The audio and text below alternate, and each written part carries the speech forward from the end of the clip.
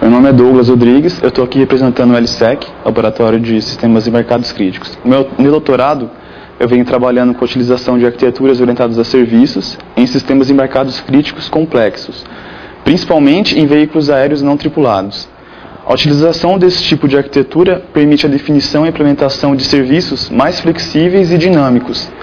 E isso é conseguido através de um framework proposto por nós mesmos, que é chamado de IKBF.